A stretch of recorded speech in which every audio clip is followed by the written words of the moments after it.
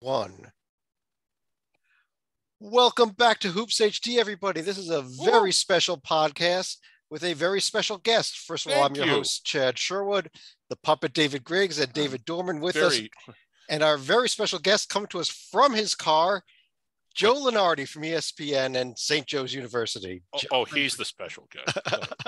Thanks for joining us. How are you?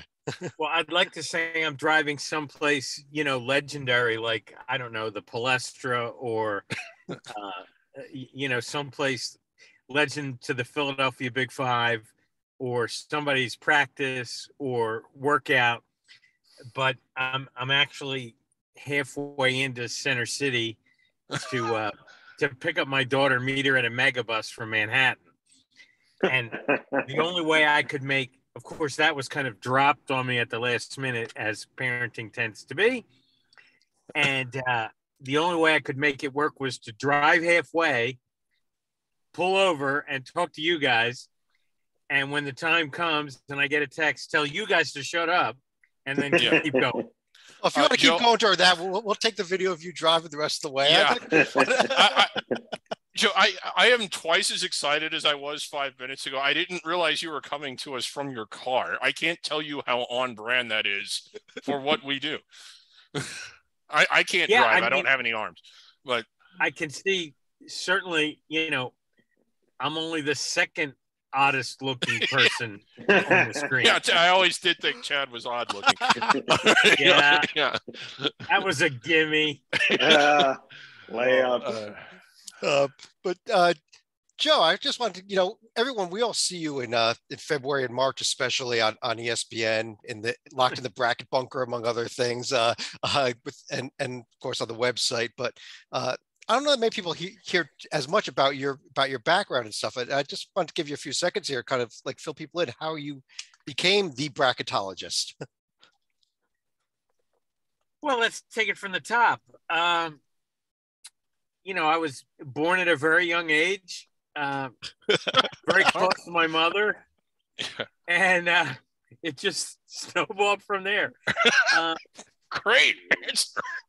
so, I, I think the easiest way to probably describe it, since we've we've kind of done the connection to Philly piece already, is you know, I went to one of the Philadelphia Big Five schools, St. Joe's, and as an undergrad, you know, I'm so old that the the big five schools, you know, Villanova, Penn, Temple, St. Joe's, and LaSalle, were all still playing in the same building, which is, of course, the famed Palestra at the campus of the University of Pennsylvania. And you know, being a, a Cub reporter for, for the St. Joe's school paper, entitled me, you know, I got a little card not only to, to do the St. Joe's games, but it got you into all the Big Five games. And the games were typically in double headers. So, you know, like a Saturday night could be like an Ivy League, like, you know, Penn, Harvard, and then St. Joe's, Villanova, or or it could be two out of town teams. Like I remember one time a doubleheader was uh, St. Joe's DePaul, Villanova, Notre Dame.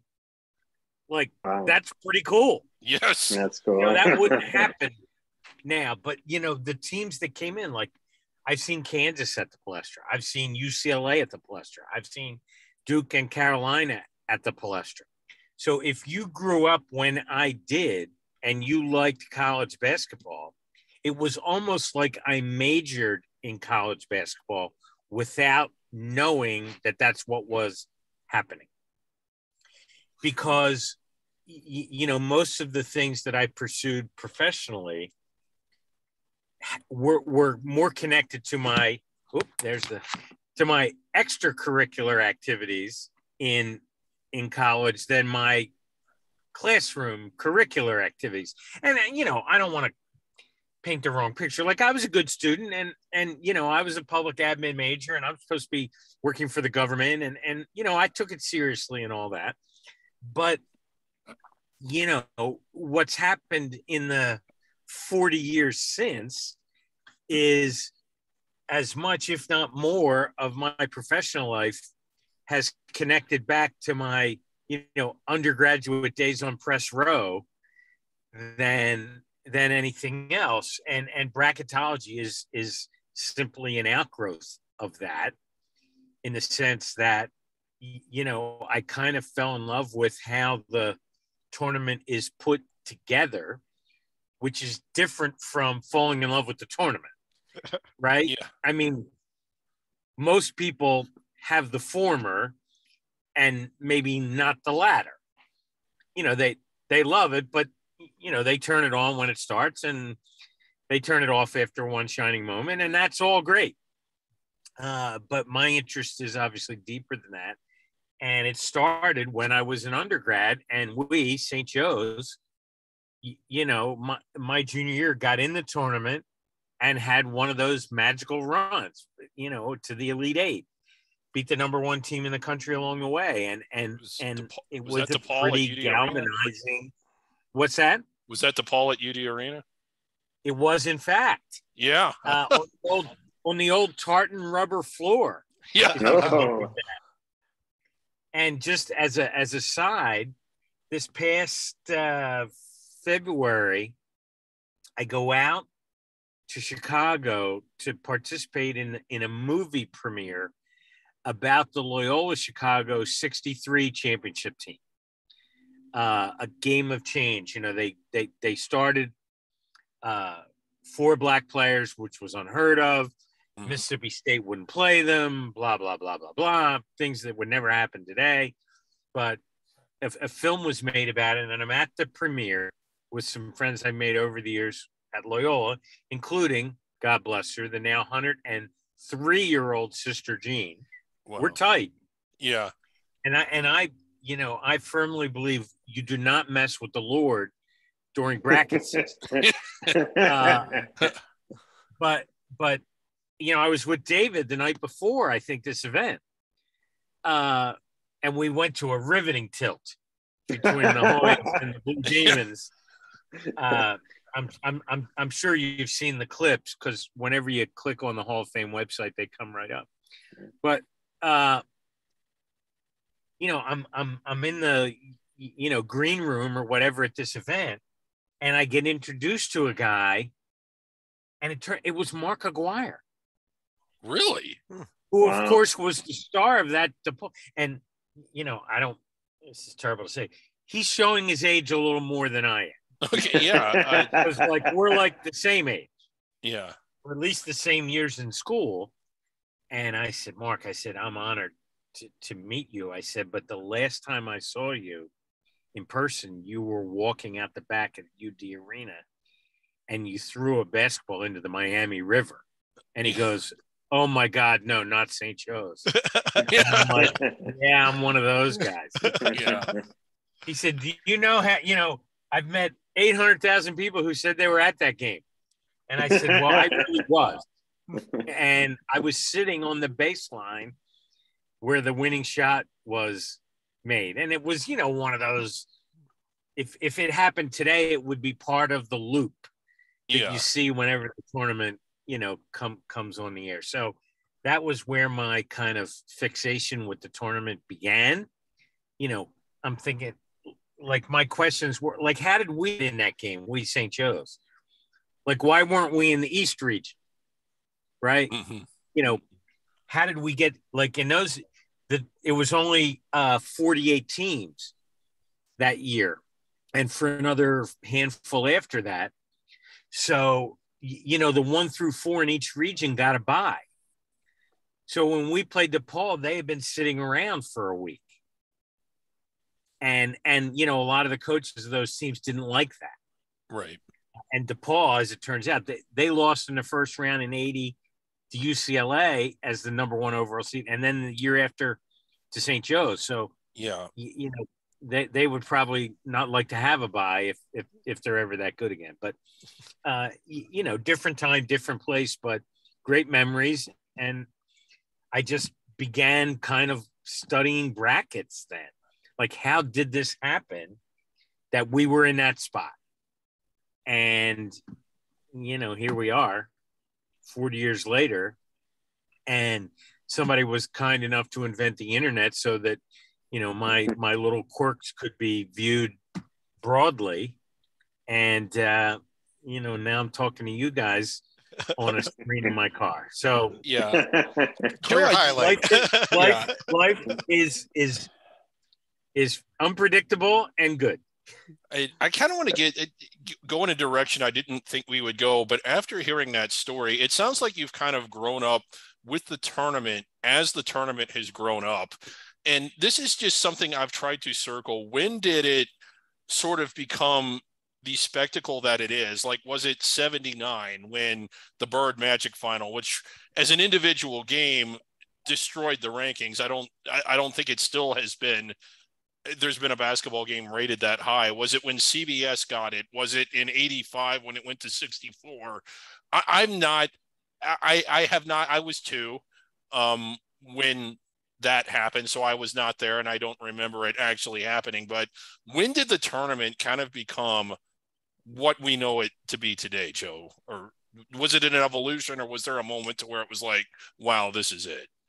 Yeah, I think I think a handful of moments, David, and and, and you've certainly nailed most of them. Uh, if if I were to go a little bit further back, uh, I would I I think that in, in a way, you know, you know, when you ask people about like wh- what's the greatest college basketball game ever, right? Mhm. Many, if not most, say the Laettner game Yeah. and, and certainly as a seminal moment when the tournament, you know, just like it had already exploded by then, but you know, primetime CBS game again happened to be in Philly.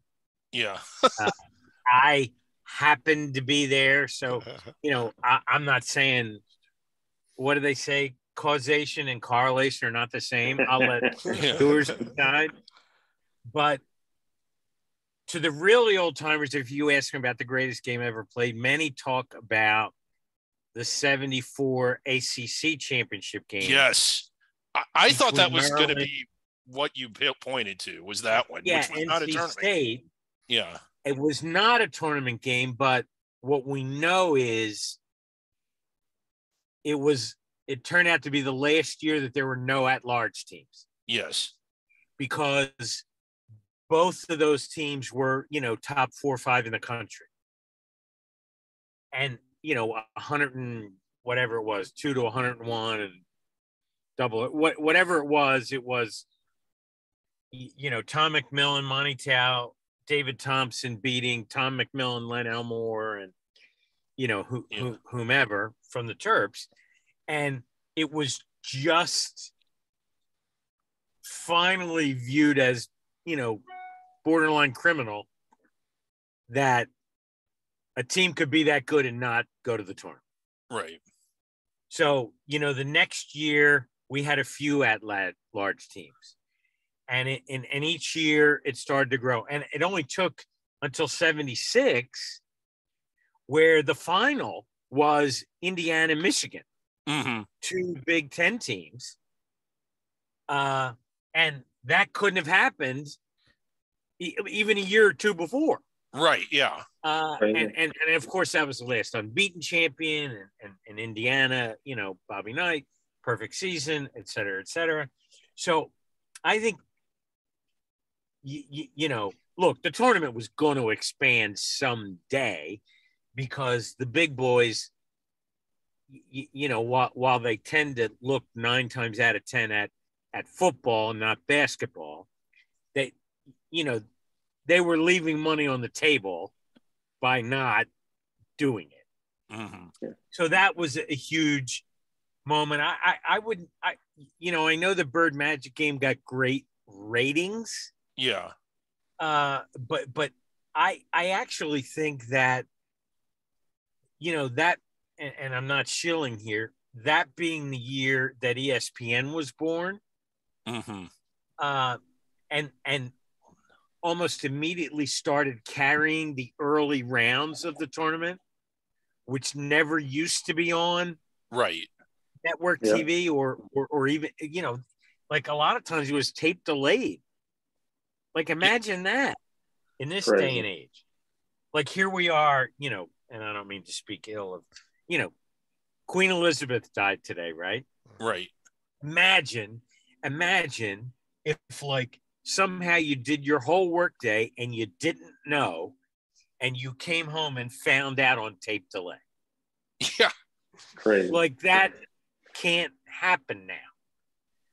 But it Mhm. it a- and I'm not equating the British monarchy to the NCAA tournament.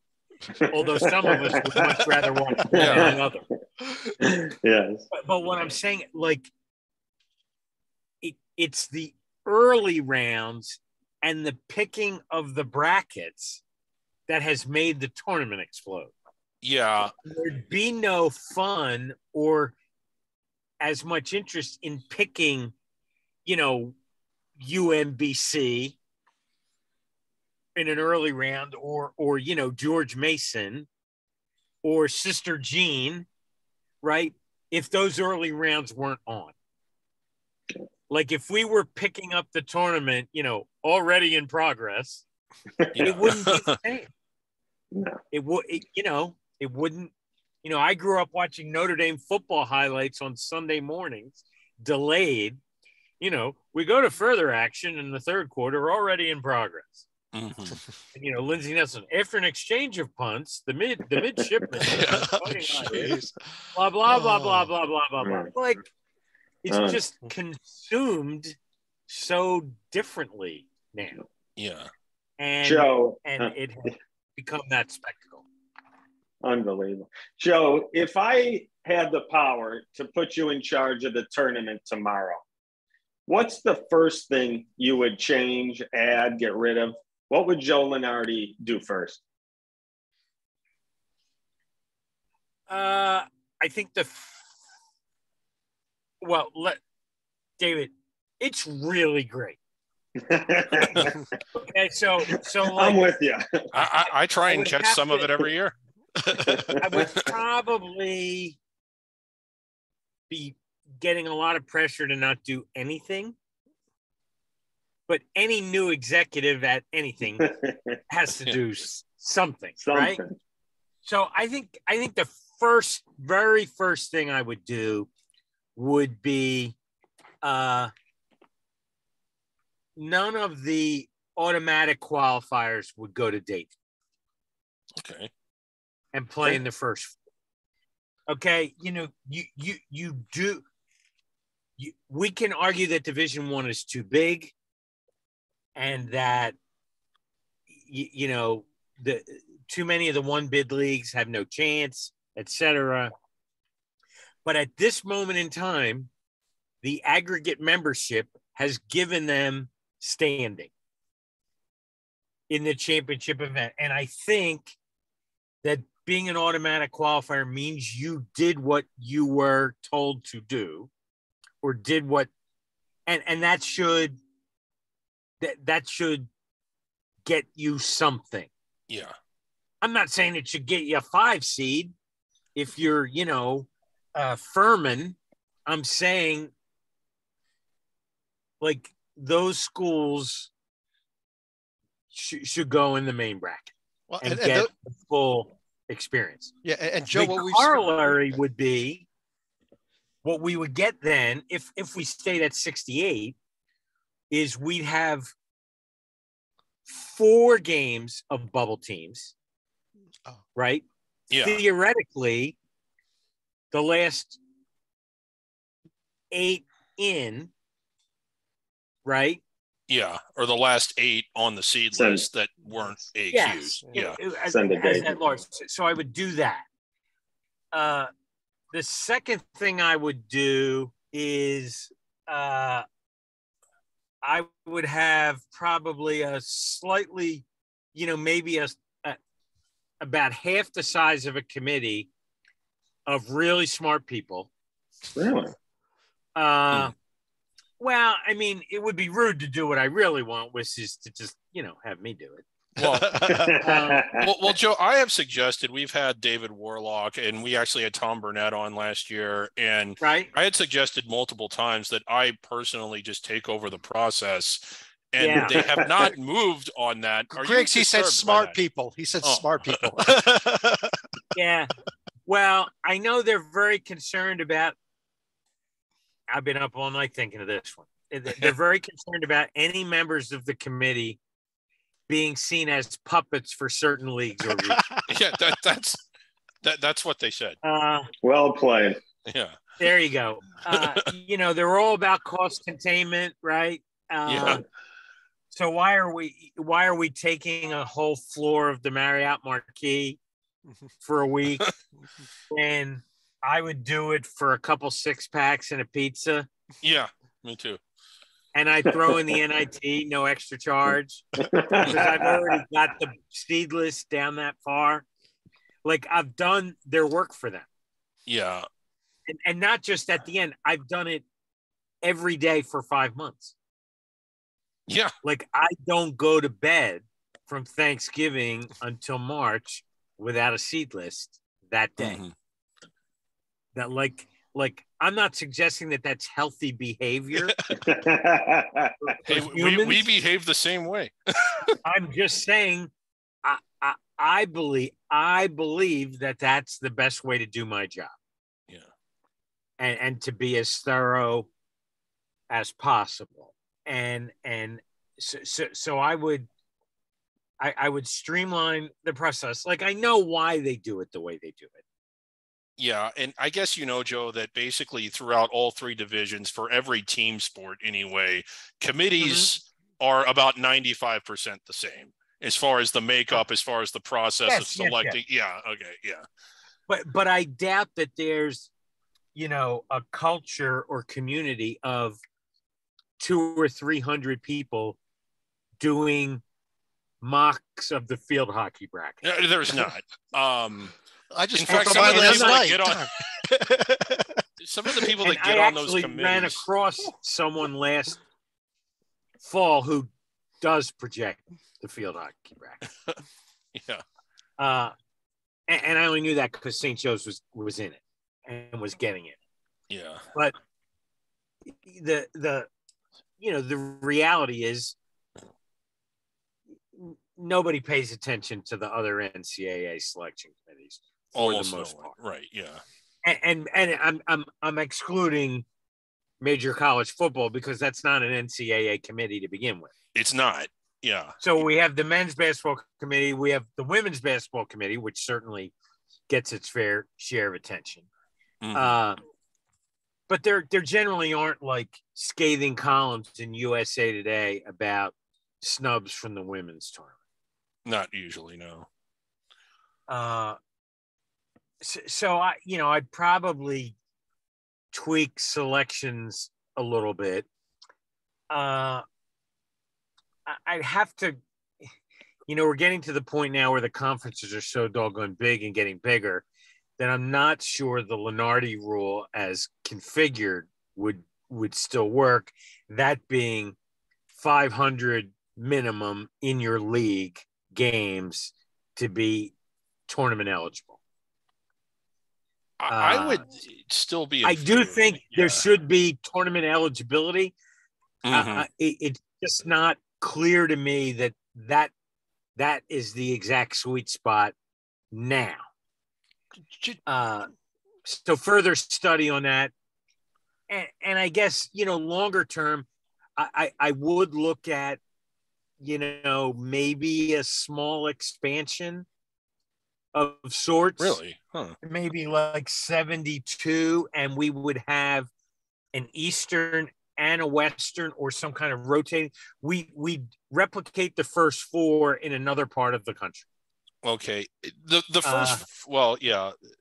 One of the things and, I and- would and change. that and if i got my first change in place which is no aqs in Yeah. the in the opening rounds then the first four really could be like bracket busters yeah. and we could stage it that way. We could take the last four or the last eight power fives and match them intentionally with, who? you know, Drake and Mhm. and and make that a thing. Right? Right. Like you can't tell me that people wouldn't like that. Oh, they would love it. Like The- more than they might like Texas Southern against Quinnipiac. Yeah. Yep. One thought I have, Joe, and, And I'll by just say, doing it yeah. regionally, we could maybe cut down on the travel between Sunday night and Tuesday night. Or that was could what, just yeah, ditch we could ditch the Sunday championship games yeah, and do the selection show at noon on Sunday Let's- right. and give give this you know the- give the travel a head start. Right. Uh, Dayton, fantastic job with the first four. No complaints there. Fantastic. It's just, No, no Like- issues. yeah, as an administrator, like you, I, I think most players, coaches would rather play two games in two days at one place than two games in three days at two different places. Nothing against Dayton. I would pull the first four out of there and have them send them to the locations that they're playing into. That would be the one thing I would change. Anyway, Yeah, I mean they do it the way they do it because they sell tickets in Dayton. right. Yeah. Joe, And- you, you you and- mentioned like the, the size of the conferences expanding and all. Did, do you have any thoughts on that? Because we're seeing a point here where we're getting into these huge 20 team conferences. Is, is this going to be bad for for basketball, especially? I know it's a football thing, uh, but where we've got Rutgers and UCLA in the same conference coming up here, and uh, you know, what are your thoughts on, on on where it's going with having these mega Well, I mean- conferences? You know, I'm a basketball purist, so I hate it. okay, yeah. good. I think Rutgers should play UCLA when they meet in the Final Four in '76, when it's you know Sellers against Richard Washington or whatever. Uh, but but I'm never going to win that point. Uh, no one has ever satisfactorily explained to me why there can't be football only conference. Yeah. Thank you. I love that. Okay Yeah. like like I get it. The Big Ten network likes to have year-round programming. Okay, but like it could still be the Big Ten in football and have mostly overlap, but not complete overlap in basketball or any other sport. Mhm. It's still the brand. So I, I I mean, good lord. Like there was a brief period and it never came to pass because you know all all the realignment of, of the early 2010s broke it first. But for a single off season, Boise State and San Diego State were in the Big East for football. Yes, I recall. Apparently, Hawaii was not available. like, So, so yeah, so like and and and now we are at that extreme. And you know football's just a different animal. So let them go. Yeah. let You're them go make as much money as they want. I don't i don't begrudge it. I like to watch college football. Yeah, i just don't know why it should screw up my sport right. It, you're more right than you know, Joe, because football only conference it's a, it, it isn't actually like a completely outside the box idea. There's hockey only conferences. At the FCS level, which I realize isn't the same animal, there's the Pioneer Football League, which is a football only conference that makes sense for those institutions that want to play football. But as an all sports conference, the, the Pioneer League would be moronic. So why can't we do the same at with football at the FBS level? I I am with you a thousand percent on that. Basketball and football are both revenue sports. That is where the similarities end. Basketball, between its roster size, its schedule length, the championship, it has more in common with rifle than it does with football. And I'm not saying that as hyperbolic. It does between Yeah. the, so let football because it is so unique for so many reasons roster size schedule length resources committed to it let it be its own thing because it really in order to make football what you need to do to make football work makes everything else not work. Just my rant there. It's not my Yeah. show. Uh, let's get I, I back mean, to joe. certainly the, the, the further it goes, you know, the, the world takeover that that that that the the, the the big sports factories are, you know, foisting upon it. Look, in a way, it's inevitable, right? Because LSU football and, you know, Southeast Louisiana basketball have nothing in common. Other than in basketball, LSU might pay them a hundred grand to come and lose in November. and you, you know, I, I, I'm not in the corner of that. I think we're going to have a Division One basketball grouping of only 120 some schools. I, I don't think that's going to happen. It's good for to the hear simple say that. reason that those 120 are going to want to have other people to play. And they're not only going to want to play each other because, you know, I, I heard Bob Huggins say, you know, maybe the tournament, maybe it should just be us one tournament of the power conferences. Yeah. I'm like, okay, well, then you're going to have to open against Pitt instead of against Robert Morris. So what do you want to do? Right. And and part of me, Uh, Joe, uh, do you think Bob Huggins is saying that just to needle Marshall? Ah, I have no idea. I have no idea. I what, what, what, what I do what what I do see though is the big bigger picture of the evolution of the tournament has almost always been to accommodate more of the power schools which admittedly invest way more than any of us Yes. at the mid-major level. So like they have a point, right? They have a point, and it's okay that they do. Uh, what what I I don't think they have the right to do is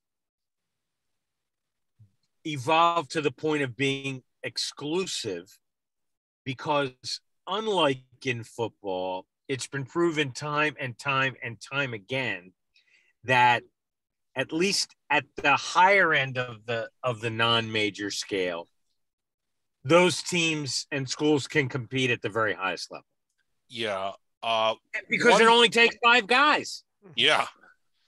One like more thing that, it's just math yeah, to and I'm, piggyback I'm off of some, I'm checking a text oh, yeah. uh oh This is big news uh, to our audience here. Does Joe need to leave to pick up his daughter? But Yeah. while you're doing that, Joe, to piggyback off of something you just said, uh, I I don't think I think one of the things about the basketball tournament that the establishment needs to realize is how many people watching it and Oh, for David, what can you hold on to that question? Yeah, Okay.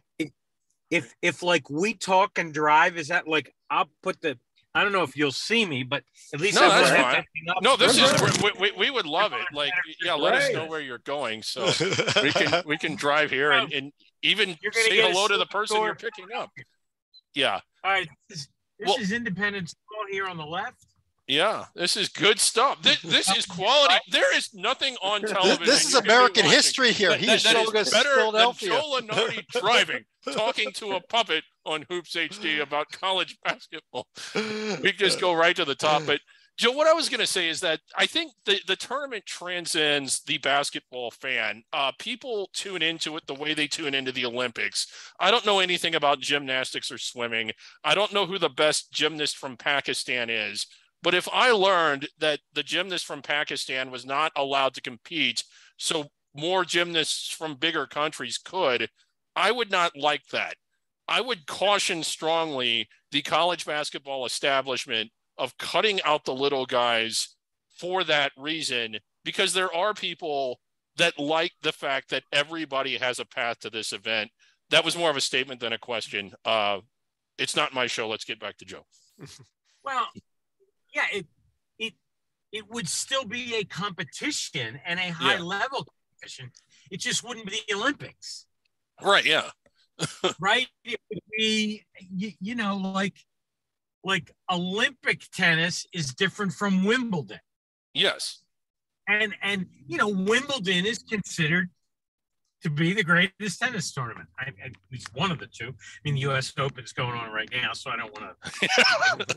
but, but you know, if if you if somebody said word association tennis tournament, the first word would be Wimbledon. hmm And and, and you know, I I think that it's really important for uh for I, I'm just a big I'm a big inclusion guy. Yes, me too. And I'm with you. think why why the public will be in Yeah. of an expanded college football playoff is uh, is is this reason like it's not really a national championship the way it is It's not. It's It's an invitational. exactly exactly like it's still the best you know very likely the very best teams but you, you know it's to me it's not a legitimate national championship unless every team that has a realistic chance to be successful gets in or has a path in, Right. right I agree. like what like there is a path in basketball Yeah, there is. And- You at, at, at some fundamental level people understand that yeah. Yeah. You, you get to play until somebody beats you. Nothing And- is assumed. Yeah. whether that's the 8-9 game in the SWAC tournament Yeah. or you know UMBC against Virginia like they keep score and that's good Yeah. yeah, I agree. people who've you know sin, people whose first exposure to sports is little league understand that Yep. uh, and and you know to me i'm sure the powers that be in college football fully understand that too they just don't want to be giving. Oh my gosh. Th- this is getting totally wild. Hold on. Yoey, how you doing buddy? Former hawk eric wood ncaa tournament participant multiple times pulls up right next to me. You guys All can right. look Yeah. Ah, like, like I'm thinking live podcast zoom cast or something. It's live on tape delay. So Eric was a. He was a, a multi-year starter at St. Joe's. Okay. So I between us, we've probably combined for about 800 points. Yeah. yeah. That's what I always say about, m- m- uh, you know, Hank Aaron and I combined for 755 home runs. Eric has all of those points. Yeah. All right. And uh, Katie St. Joseph, St. Louis, I, I'm still friendly with his mom because we St. Louis is now in our league and we go after. Anyhow, Yeah. they're such a great unifier. Yeah. Um, And- and and you know Eric Woods, who's no name in the bigger picture of college basketball, has every much a right to be in the NCAA tournament as you know Zion Williamson. right. Yeah. Absolutely. That's that's what we're talking about. Yes. So Oh, you know, and and I'm I'm happy to die on that hill. Uh, I, I suspect I'll die in real life long before it ever comes. well, America with you a knew you were great percent. at college basketball. America had no idea the great driver you yeah, are. This is incredible. this is this is good stuff. like I'm going to get a call from AAA or the state police and yeah. what were you doing? What were you doing? Right now I'm about to pass my alma mater. Uh, you know, where allegedly I retired three and a half years ago. You, you Uh, still do the radio, don't you, Joe? Play by play. Well, you know, like back when schools were on the radio. Oh yeah. uh, Okay. Now we're streaming, and I do mostly home games on ESPN Plus. Okay. Yeah. holder of the A10. So theoretically, I don't. I'm just I'm just an alumnus. Yeah. Oh, All good. yeah. All That's right. and and in a way it has freed up y- y- you know i used to be you know held and tied up with you know 30 to 35 dates a year with one school right? Yeah. which was appropriate when my primary paycheck was coming from one school Yes. That not being the case anymore it's good for me to have other dates to get around and do other things go to other games so Absolutely. that- that's my story and i'm sticking to it Yeah. So. uh, uh, man so how are we going to finish this i'm turn I, i'm going to have to turn off and, and shut you guys down All right. Well, I get. I guess Joe. We, we, we, we, we since you do have to to shut down here, we do want to thank you for joining us. It's been it's been one of the most interesting podcasts I've ever been on. Yeah. Yeah. Thank you, Joe. Yeah. So. Joe, you're the best. Yeah. all right guys i will see you on the other side david i'll let you know if i come to chicago Be safe. and uh, just looking for a place Okay. All right. Okay Daughter fellas. looks like, right? yeah we'll see you on the other side Okay. to- All right. Bye, Thanks. Joe. Thanks, All right. Joe. Bye, Joe. This, Thanks this, this was. Yeah. I, I thought it would be good, and it was way better than I expected.